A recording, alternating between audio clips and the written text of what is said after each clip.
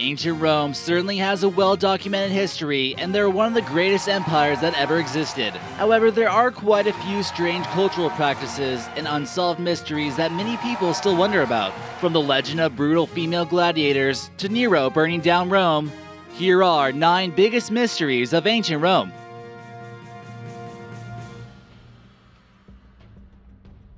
Number 9 Romulus and Remus. The origins of the beginning of ancient Rome seem to be shrouded in mystery, but it seems to be well documented that Romulus and Remus are the founders of this great ancient city. It's commonly portrayed in artwork and was a divine tale to how the empire began. It's difficult to tell how much of the story is true and how much of it is mythology. The story goes that Romulus and Remus were twin brothers that were born in 750 BC at Alba Longa located near the future site of Rome. They were the sons of a daughter of a former king, and the current king here ordered them to be left on the banks of the Tiber River because he saw them as a threat to his power on the throne. As the story goes, the brothers were actually raised by wolves and managed to survive the whole ordeal. This is why you see so many statues of them in Rome, sucking on the teat of what's known as the Capitoline wolf. Although the whole part about the founders of Rome being cared for by a she wolf might seem a little bit crazy, many scholars still debate if there's any truth behind this mysterious legend. Romulus named the city after himself, and the foundations for a great empire were set.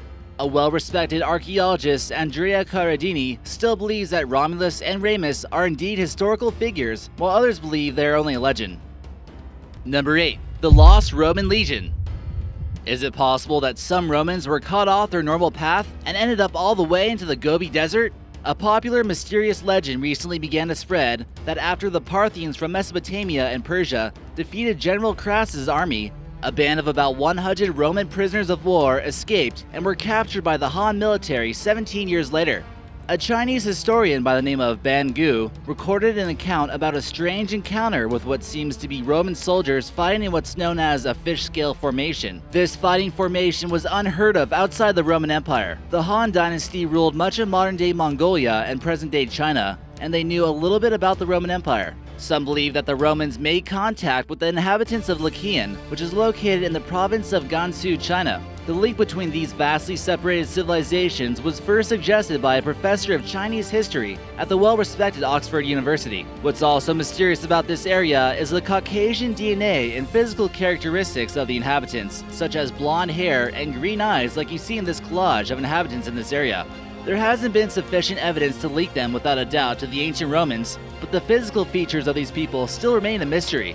Number 7. Dodecahedrons Dodecahedrons are small metal objects that date back to the 2nd or 3rd century AD, and many of these strange things have been found in the former territories of the Roman Empire. No one can really figure out exactly what they were used for. Its strange design even makes some people wonder if it had extraterrestrial origins. About 100 of these have been discovered in places like the UK, Hungary, Germany, and France. They tend to be made of bronze, but the true mystery is its purpose. New theories seem to pop up all the time, Explanations range from candle holders, dice, glove makers, and even astronomical measuring. With such a bizarre range of possible uses, people have tried to prove their theories, and one person even showed how it could be used to make gloves. Which theory do you believe is correct? Number 6. Roman coins in Japanese castle. This photo here shows one of the mysterious ancient Roman coins that were discovered all the way across the other side of the world at the Katsuren Castle in Okinawa, Japan. This castle here was once the home to a wealthy feudal lord. It was built in the 12th century AD, and precious artifacts from this castle from China have also been discovered.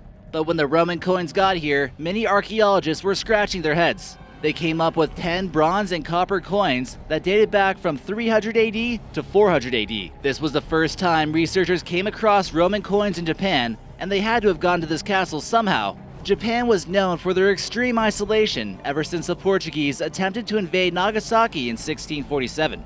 They refused to trade with anyone for quite a while up until the Industrial Age. Some believe that these managed to reach Japan under violation of their embargoes during the Middle Ages, but there's just nothing to back it up, and the coins remain a huge mystery. Number 5. Nero's Burning of Rome About two millennia ago, a great fire engulfed Rome that covered much of the city, especially the slums. This was ultimately blamed on the crazy emperor at the time, Nero, and it managed to burn about six days. Many claim that Nero had intentionally started this fire in order to be able to rebuild the great city the way he pleased, and the Senate would have no choice but to comply.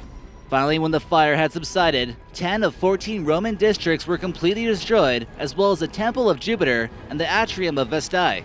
Some believe that this fire was made in order to make room for a lavish palace. Other historians even go as far as saying that Nero was playing his fiddle while he watched Rome burn from a distance. The famous arsonist blamed the Christians for the fire, who he seemed to not like much anyways. The historian who recorded Nero's pyromania, however, known as Tacitus, was still a very young teenager at that time and was probably no older than 13 or 14. Other sources claim that Nero was hiding out at his resort in Antium during the fire, which almost seemed to make him seem more guilty. While there is great physical evidence to support that the fire did indeed take place, is there any way to be 100% sure that Nero caused one of the greatest tragedies in the ancient world?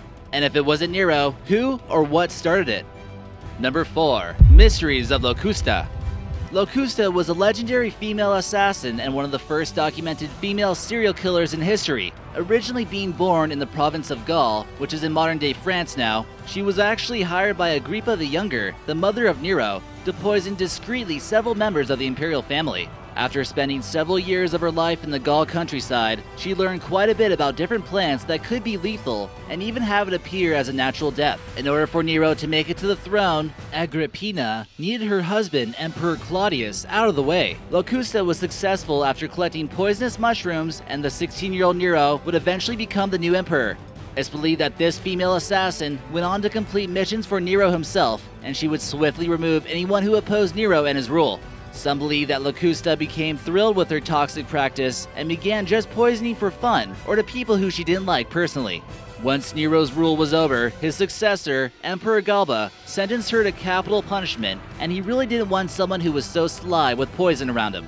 The exact number of victims Locusta is responsible for still remains a mystery, especially since she was so skilled in making someone's demise seem natural. Number 3. Female Gladiators Gladiators certainly played a big role in Roman entertainment in all the corners of the empire. But was it only the men who fought these battles? Or did women participate in the bloodshed as well? Archaeologists in 2010 discovered the remains of a massive muscular Amazonian type woman who could have possibly been used as a gladiator in occupied parts of Britain. She was buried in an elaborate wooden coffin near the town of Kenchester, which leads them to believe that she was indeed a gladiator. When they further examined her skeleton, they determined that the muscle attachments that she would have had would have been quite intimidating.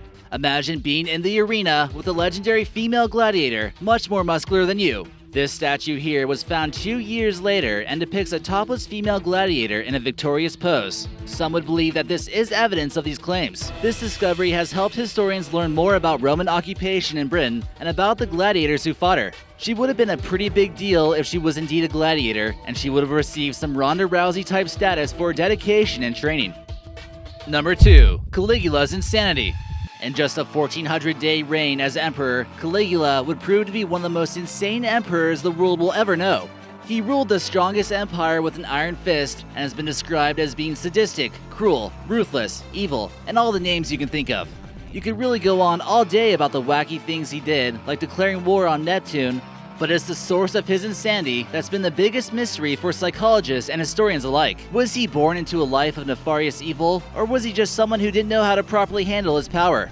Stories about sleeping with his sisters, declaring himself a god, practicing grimacing in the mirror, declaring a horse a priest of a temple, throwing spectators into the arena with lions, and a whole bunch of crazy stuff. People had hoped Caligula, the grandson of Augustus, would be a better ruler than Tiberius. Tiberius was another ruler who was extremely brutal towards Caligula's family. His brother and his mother both starved to death while being in prison. Everyone eventually got fed up with Caligula's shenanigans when he finally took the throne, and eventually he was assassinated, and even his own wife took a stab. Historians recently are claiming that he was truly mentally ill, and in modern times, he would have been diagnosed with something like schizophrenia or hyperthyroidism. At number 1, the fall of the Roman Empire. So we all know the story. Attila the Hun and the barbarians swoop into Rome, the most technologically advanced nation at that time, and get defeated by hordes of guys who need showers on horseback. Rome was too focused on orgies, wine, and assassinating each other to figure out how to repel a massive invasion, right? It's one of the most dramatic stories in history, but could there have been other factors to blame that we haven't looked into just yet? Instead of the empire completely falling, it broke into western and eastern Rome, but the west would quickly break off into different pieces, and the east would stay strong. Scientists, and especially geologists, are beginning to explore the possibility that volcanoes played a bigger role in bringing down the empire than we once thought. Italy is certainly chock full of volcanoes getting ready to go off at any moment, and we saw what Mount Vesuvius was capable of doing. The soot and ash from the volcanoes could have certainly destroyed a large amount of crops that would have essentially crippled the Roman army. The Huns could have certainly swooped in at a time when Rome was already devastated and plundered the capital with ease. Historians in 536 AD recorded how the sky essentially turned black from thick dust which blocked out the sun, Anyways, it's a new theory that's being investigated, and it could shed some light on the collapse of the Roman Empire.